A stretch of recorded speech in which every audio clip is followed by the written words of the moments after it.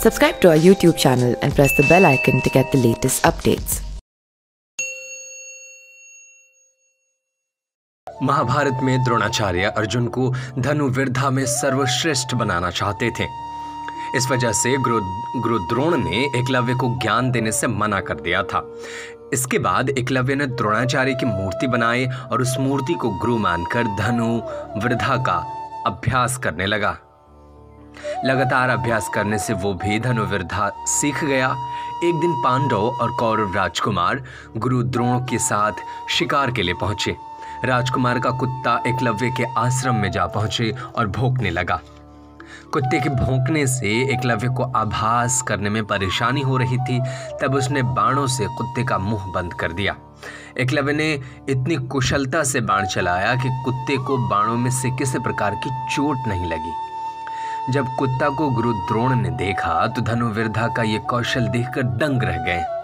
तब बाण चलाने वाले की खोज करते हुए वे एकलव्य के पास पहुँच गए। गुरु द्रोण को लगा कि एकलव्य अर्जुन से श्रेष्ठ बन सकता है। तब उन्होंने गुरु दक्षिणा में उसको अंगूठा मांग लिया था और एकलव्य ने अपना अंगूठा काटकर गुरु को भी दे दिया। अंगूठे बिना भी एकलव्य धनुर्विद्या में दक्ष हो गया था। एकलव्य हिरणय धनु नामक निषाद का पुत्र था। उसके पिता श्रृंगेवर राज्य के राजा थे। उनकी मृत्यु के बाद एकलव्य राजा बना। उसने निषाद भीलों की सेना बनाई और अपने राज्य का विस्तार एक प्रचलित किया। एक प्रचलित कथा के अनुसार एकलव्य कृष्ण को शत्रु मानने वाले जरासंघ के साथ मिल गया था। जरासंघ की सेना ने उस तरफ़ से उस मथुरा पर आक्रमण भी किया।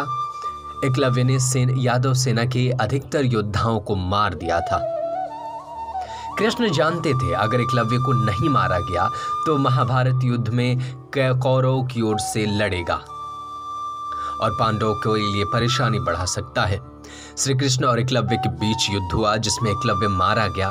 एकलव्य के बाद उसका पुत्र केतुमान राजा बना। महाभारत में केतुमान कौरव की सेना की ओर से पांडवों से लड़ा था। इसका वध भीम ने किया था।